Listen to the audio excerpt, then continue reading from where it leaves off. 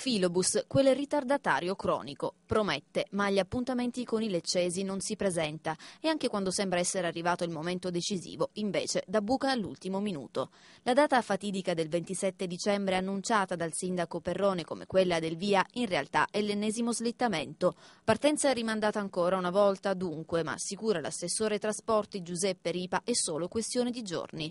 Incrociando le dita, il filobus inizierà il suo cammino prima dell'arrivo del 2012 fra il 30 e il 31 dicembre. Noi siamo pronti dal punto di vista proprio tecnico, il Comune di Lecce ha fatto tutto quello che doveva fare.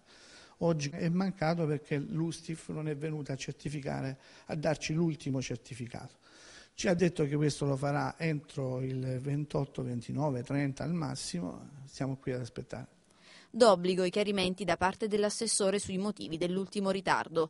Questioni tecniche, o meglio un contrattempo legato al collaudo finale della commissione Ustif che in queste ore avrebbe avuto una mole di lavoro eccessiva al punto da non poter rispettare la scadenza. Spiegazioni che non risparmiano le critiche da parte dell'amministrazione a un'opera che stenta a decollare. Questa è un'ulteriore dimostrazione di come quest'opera sia stata eh, portata avanti da una serie di enti che erano impreparati di fronte alla mole della stessa eh, opera.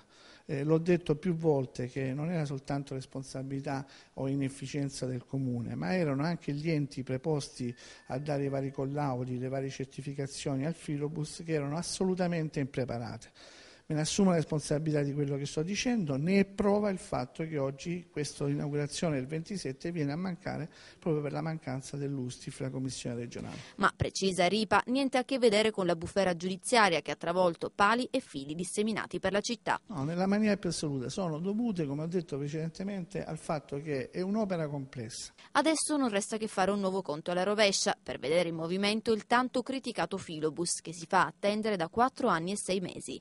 La speranza è che l'agonia non si trascini anche nel 2012, costringendoci a parlare ancora di un'opera incompiuta, costata ai leccesi 25 milioni di euro.